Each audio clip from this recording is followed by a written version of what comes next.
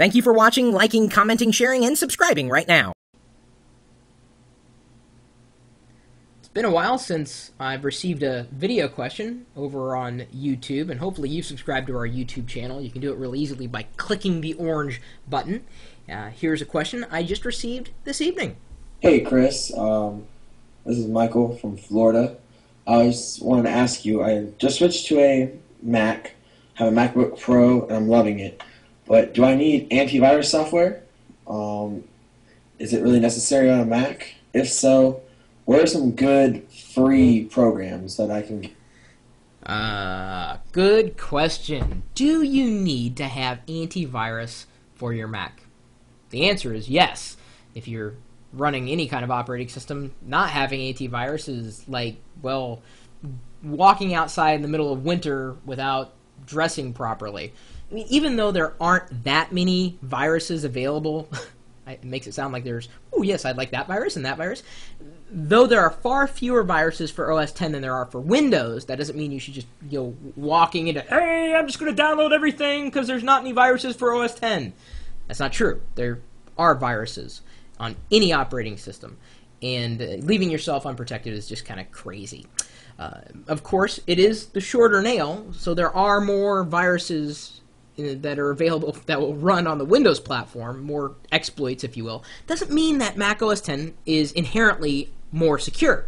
It just means it's a, a shorter nail, and that nail is getting taller by the day the antivirus software, if someone hasn't already recommended it in chat. Oh, yes, Wireless Packet did. Clam Xav, at least that's how I pronounce it. C L A M X A V. The X stands for yeah OS 10, so I guess it'd be Clam 10 AV.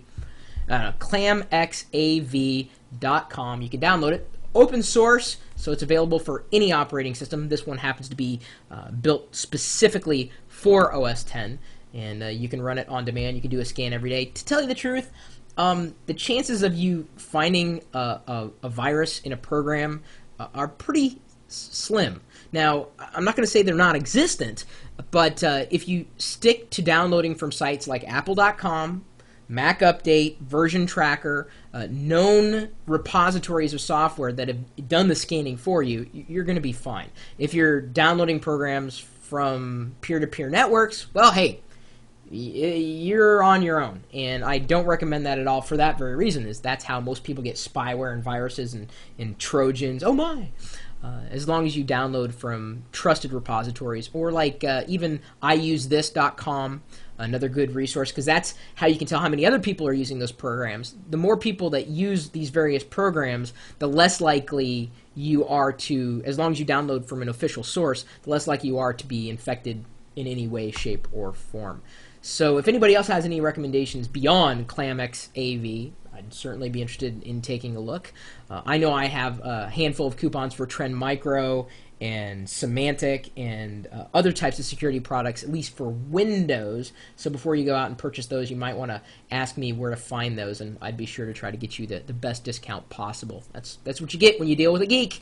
And yes, I am geeky. Now, if you've got a question, you can either post it to YouTube as a, a follow up response to one of the videos that we post on our YouTube channel, or just you know post in general. Email it to me, Chris at Pirillo.com.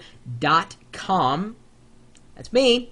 Oh, of course, you're also welcome to embed this video in case you wanted to share with the world. Hey, look, see, Macs have viruses, just not that many of them, and this is what you can do to stop them or keep your system completely clean. You're also welcome to swing by the chat room anytime, day or night. We're typically talking tech, whether it's about Linux, Mac, Windows, Xbox 360, PS3, PSP, Nintendo DS, DirectX 10, OpenGL. I mean, we talk about it all. You've been by the chat room, right? Well, if you don't, ever come by the chat room, what about now? Right now. Just come over. Anytime, day or night. Live.pirillo.com. Will see you later.